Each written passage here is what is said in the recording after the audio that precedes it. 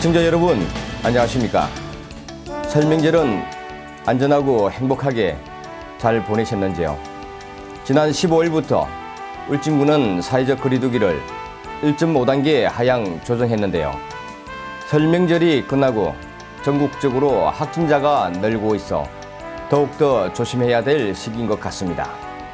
오늘 2021년 2월 셋째 주 주간 뉴스를 시작하겠습니다. 먼저 이 시간 주요 소식들입니다.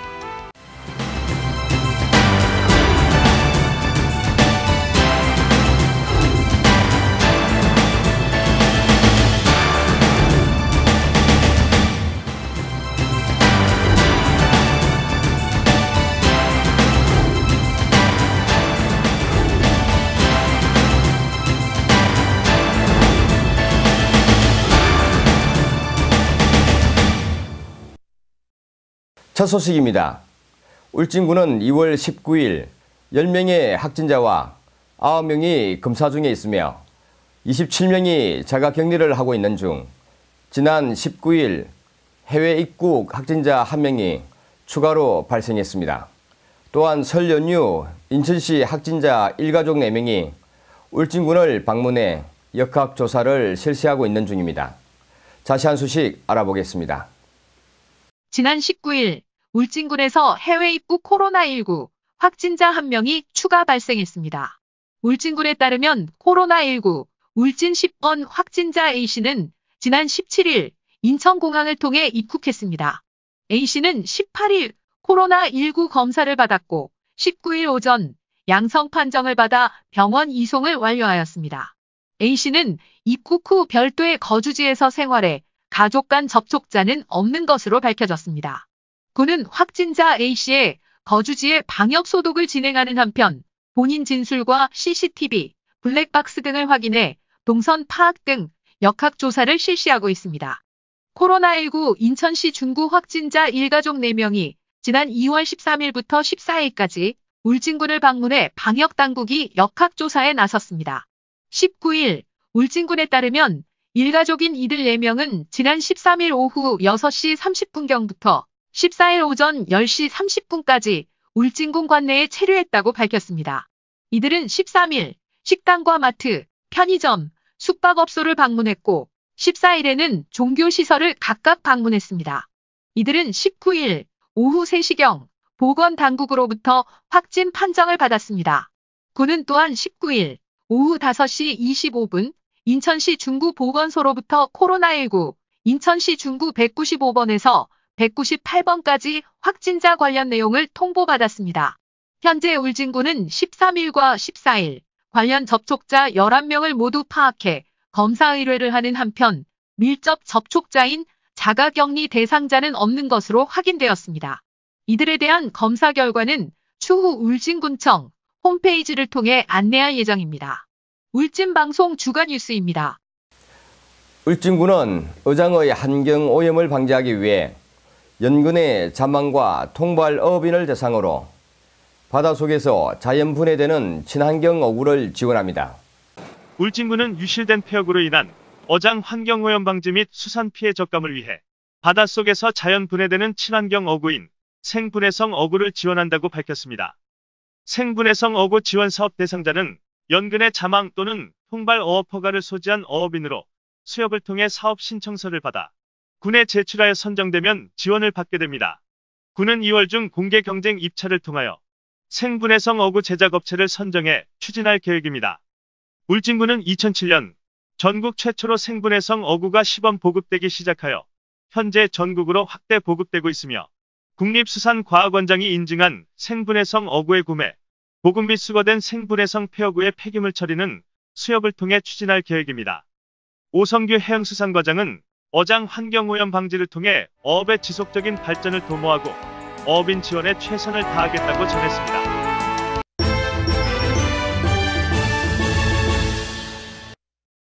울진군은 해빙기 안전사고가 우려되는 소규모 공공시설에 대한 전체 안전점검을 실시합니다.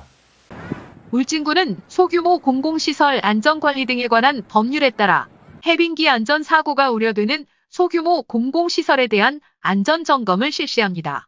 소규모 공공시설은 타 법률에서 관리되지 않는 길이 100m 미만의 소규량과 폭 1m, 길이 50m 이상의 세천, 평균 폭 2.5m 이상의 농노민 마을 진입로, 하천을 이용하여 농업 용수를 관계하는 취입보, 그리고 유속 제한을 위해 설치하는 낙차공 등을 통칭합니다.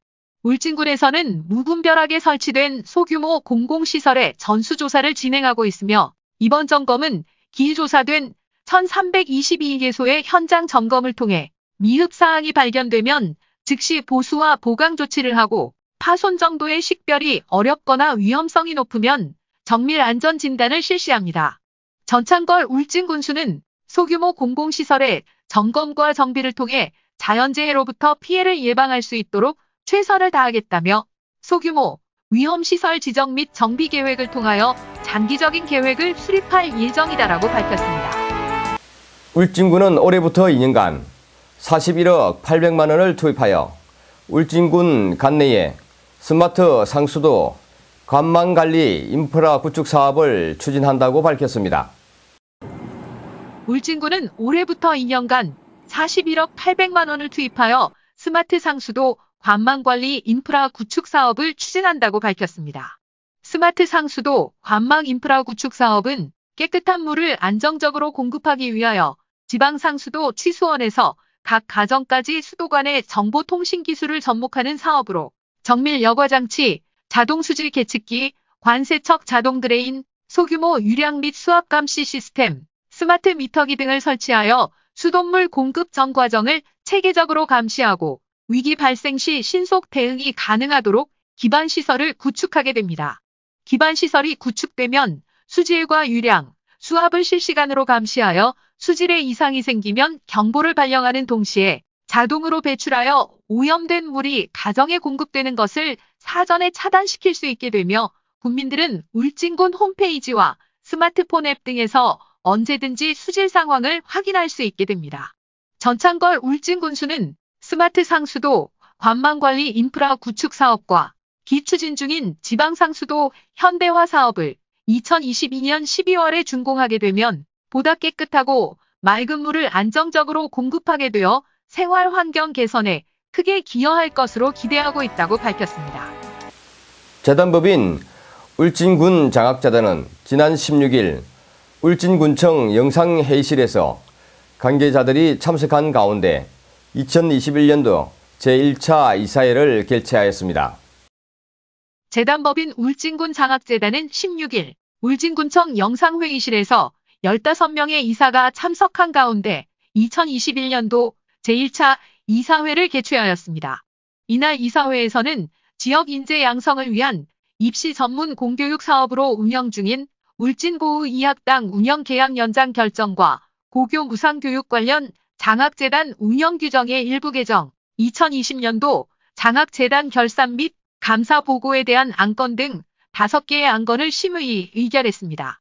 아울러 2021년도 장학 사업으로 울진군 관내의 대학생 장학금 지원과 대학 입학 우수생에게 지급하는 울진사랑 특별장학금 지원, 고등학생 전 학년을 대상으로 학업 우수 희망 장학금, 다자녀 가정에게 지원하는 다자녀 장학금 및 예체능 특기생 지원을 위한 특기 장학금 등의 확대로 학생들의 애양심 고취와 학업 능력을 키울 수 있도록 적극 지원할 방침이라고 밝혔습니다. 한편 울진군 장학재단은 재경울진 학사를 통해 지난 2017년부터 600여 명의 학생들에게 보금자리를 제공해 오고 있습니다. 전창걸 울진군 장학재단 이사장은 지난해에는 코로나19와 어려운 경제 상황에도 불구하고 장학 기탁금이 꾸준히 증가하는 등 국민들의 관심이 커지고 있다며 재단 임원들에게도 울진 인재 육성 및 교육 발전에 지속적인 관심과 성원을 가져주기 바란다고 당부했습니다. 울진군은 국민들이 찾아가지 않은 지방세 한각금 1,366만 원을 2월 말까지 지방세 한각금 찾아주기 중점 추진 기간을 운영한다고 밝혔습니다. 울진군은 오는 2월 말까지 지방세 환급금 찾아주기 중점 추진 기간을 운영합니다. 코로나19의 장기화로 인한 어려운 경제 여건에서 세정 지원을 통해 다소나마 보탬이 되고자 지방세 환급금 찾아주기를 2월 한 달간 추진합니다. 지방세 환급금은 취득세 신고 납부 후 감면 신청, 자동차세 선납 후 폐차 및 소유권 이전 등에 따른 세액 감액, 국세 경정으로 인한 지방 소득세 감액 등의 사유로 발생하며 환급금은 5년 안에 청구하지 않으면 소멸시효 경과에 따라 권리자의 청구 행사가 불가능하게 됩니다. 울진군 지방세 미환급금은 1월 31일 기준 총 1,366만 원으로 미환급금은 위택세, 지방세 미환급금 신청, 간소화 화면을 통해 간편하게 조회하고 환급 신청까지 할 수 있습니다. 인터넷 사용이 불편한 경우는 울진군 재무과 세입관리팀 054-789에 6601번으로 문의하면 확인할 수 있습니다. 전창걸 울진 군수는 지난 17일 한경구가 주관하는 생활 속 플라스틱 줄이기 릴레이 캠페인 고고 챌린저에 동참했습니다. 다음 캠페인 참여자로 조석태 울진 해양경찰서장과 남병훈 울진교육지원청 교육장, 박범수 한울 원자력 본부장을 지목했습니다. 전찬걸 울진군수가 환경부가 주관하는 생활 속 플라스틱 줄이기 릴레이 캠페인 고고 챌린지에 동참했습니다. 고고 챌린지는 생활 속에서 플라스틱을 줄이기 위해 하지 말아야 할 실천 한 가지와 해야 할 실천 한 가지에 대한 약속을 SNS에 게재하고 다음 주자를 지목하는 릴레이 캠페인입니다. 서장우 국립해양과학 관장의 지목을 받아 참여하게 된 전창걸 군수는 일회용 비닐을 사용 안 하고 무라벨 제품 우선 구매하고라는 슬로건으로 캠페인에 참여하게 되었습니다. 전창걸 군수는 무분별한 플라스틱 사용으로 환경 오염이 심각한 상황이며 특히 분해되지 않는 플라스틱류들이 해양 쓰레기로 많이 버려지고 있어 우리의 바다를 위협하고 있다며 청정한 울진의 자연은 가장 큰 자원이며 미래를 위한 든든한 버팀목이니 생활 속 작은 실천으로 깨끗한 울진, 깨끗한 지구를 만드는 일에 동참해달라고 당부했습니다. 전창걸 군수는 다음 캠페인 참여자로 조석태 울진 해양경찰서장과 남병훈 울진 교육지원청 교육장, 박범수 한국수력원자력 하늘 원자력 본부장을 지목했습니다. 다음은 울진군의 공기가 대한민국에서 가장 깨끗하다는 소식입니다. 지난해 연평균 초미세 먼지 농도가 11 마이크로그램 포 세제곱미터로 전국에서 가장 청정한 지역으로 이름을 올렸습니다. 지난 1월 환경부 발표에 따르면 2020년도 연평균 초미세먼지 농도가 가장 낮은 도시로 울진군이 선정되었습니다.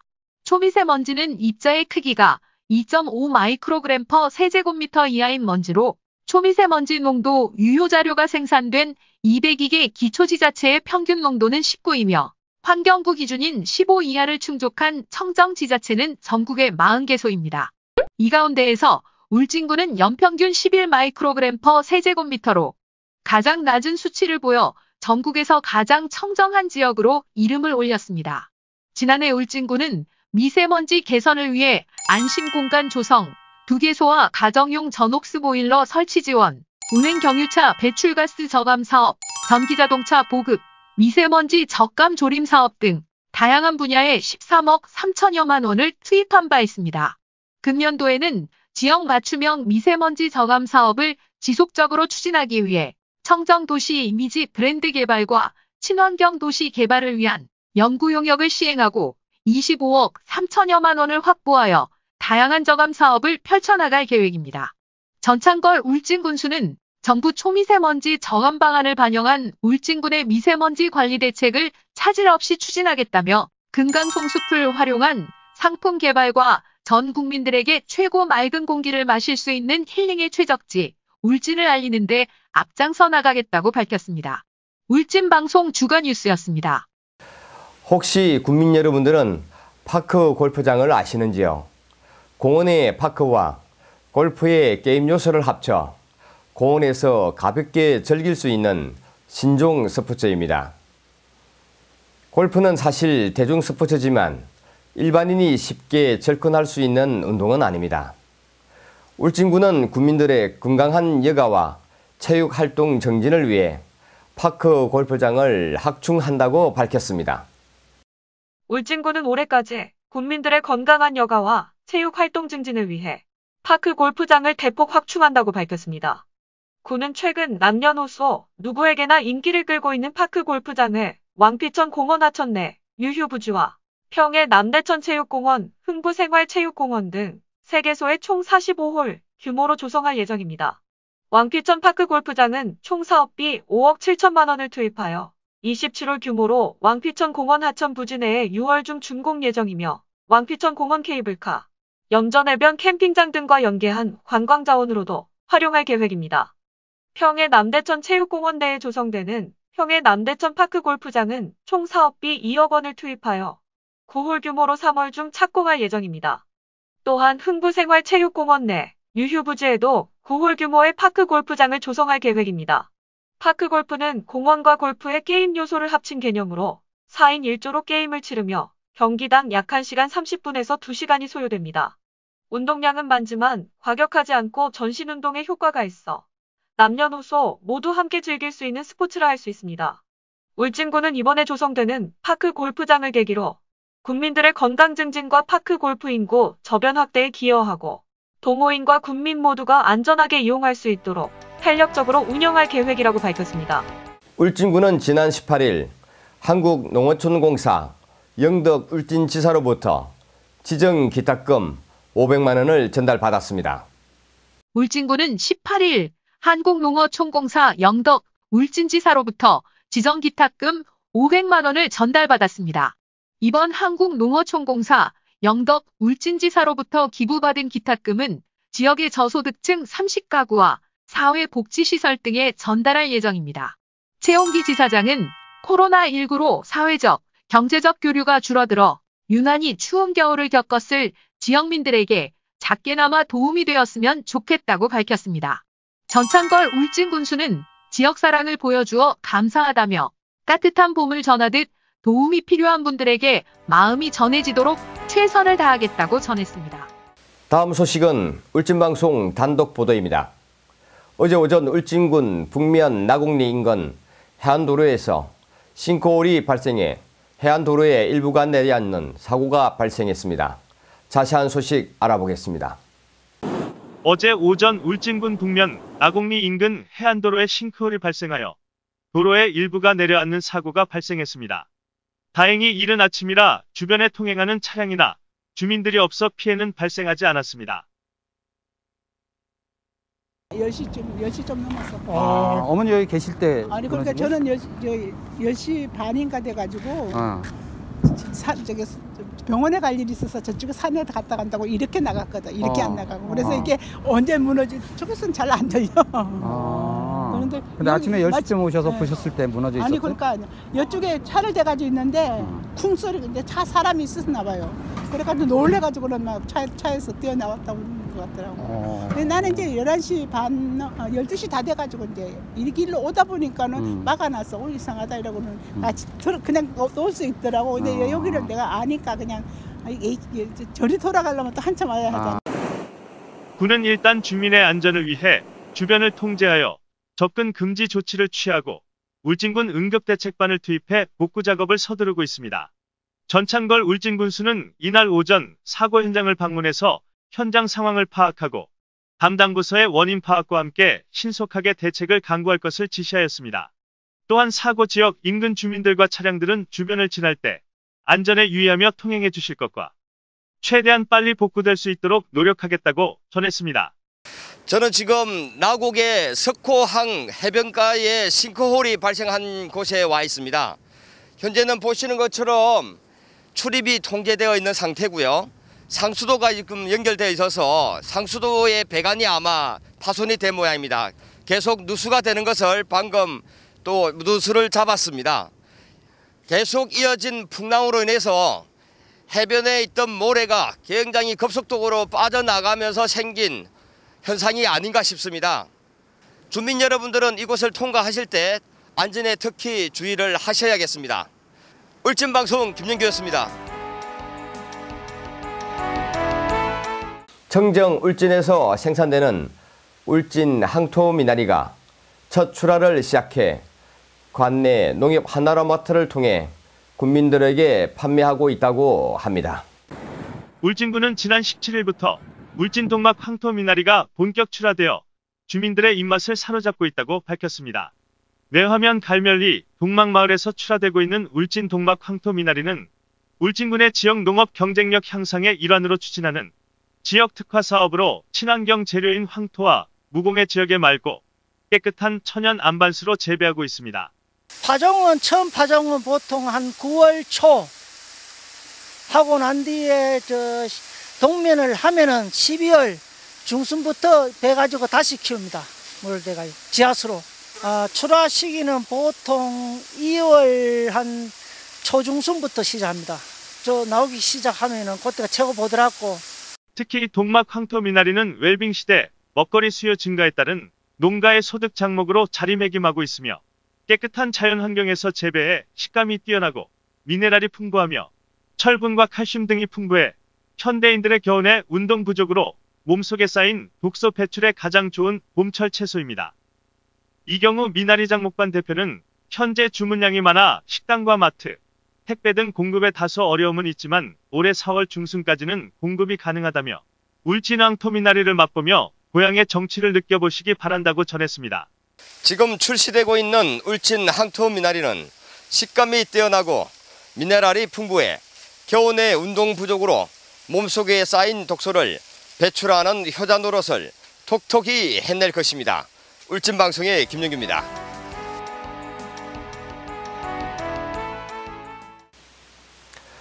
이주째 울진 앞바다는 계속해서 풍랑주의보가 이어지고 있습니다. 크고 작은 해안 사고들이 발생하고 있습니다.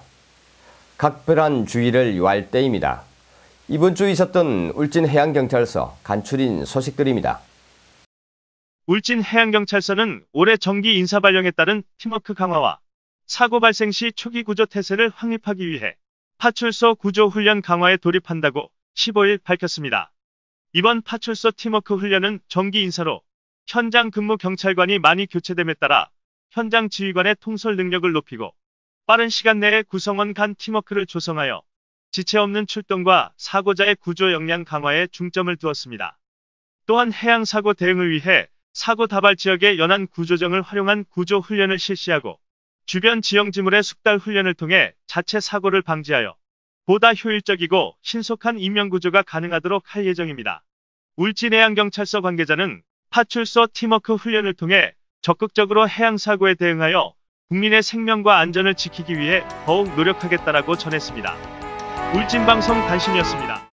울진해양경찰서는 지난 15일 오후 2시 9분께 매화면 망양유계소 앞바다에서 기관 고장으로 표류하고 있었던 0.31톤급 소형 레저 보트 A호에 타고 있던 승선원 한 명을 무사히 구조했다고 밝혔습니다.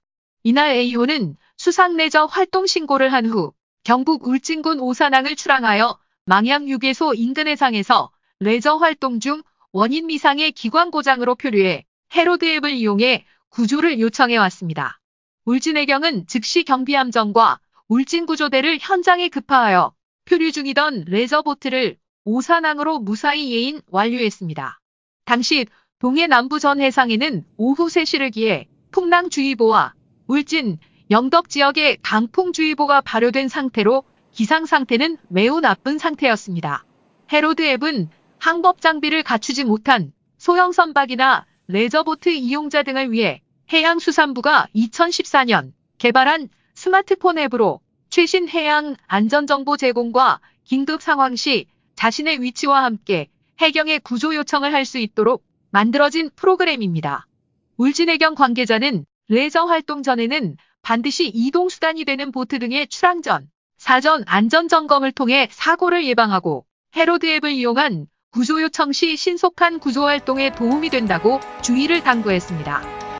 울진 해양경찰서는 지난 16일 육군 울진 여단과 상호 통합 방위 업무와 해안 경계 강화를 위한 협의를 가졌습니다. 이날 육군 울진 여단장은 울진 해양경찰서를 방문하여 서장을 면담하고 종합상황실 운영 시스템과 해상경비 세력 등 통합방위 현황을 협의하였습니다.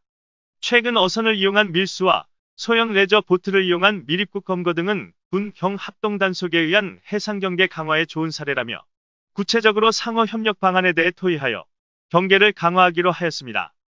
조석태 서장은 이번 육군 울진여단과의 통합방위 업무 협의를 통하여 해안경계 역량이 한층 강화되었다며 군과의 지속적인 교류와 업무 협력을 강화하여 해안경계에 빈틈이 없도록 할 것이라고 전했습니다.